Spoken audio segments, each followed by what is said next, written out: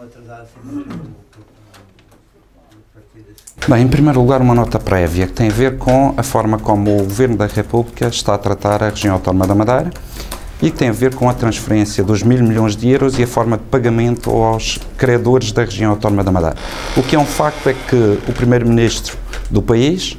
eh, Presidente do PSD a nível nacional, não confia no Presidente do Governo Regional da Madeira, daí que a relação não seja direta entre a Madeira e os seus credores e tenha aqui um intermediário que cauciona tudo isto, que é o Governo da República. Uh, em relação à questão uh, do orçamento e das conclusões que nós extraímos desta conversa,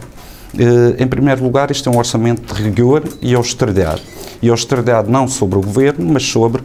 as famílias e as empresas madeirenses. Para nós é extremamente preocupante que se toque em áreas tão sensíveis como a saúde e a educação, com cortes, e isso irá eh, diminuir a qualidade destes serviços e irá criar problemas às pessoas e às famílias. Por outro lado, entendemos que eh, não existe, e por aquilo que nos foi dado a conhecer, nenhum plano económico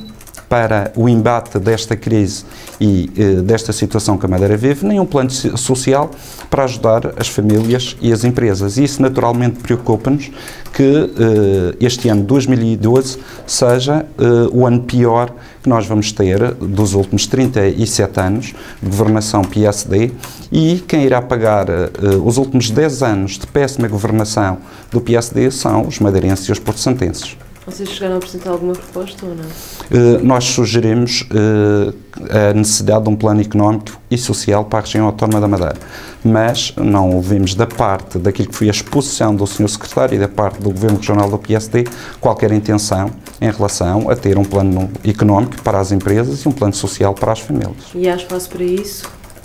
Terá que haver espaço para não deixar cair muitos madeirenses que hoje não têm recursos financeiros, não têm meios de se aguentar uh, durante este ano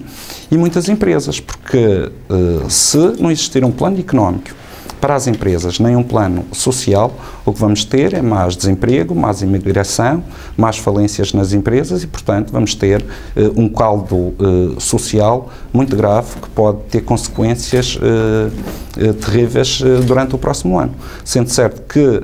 nós já o dissemos, quer em termos nacionais, mas também a nível regional, que com este plano a região autónoma da Madeira caminha para a recessão, para o desemprego e para a falência das empresas. E este plano não serve aos interesses dos madeirenses e porto-santenses.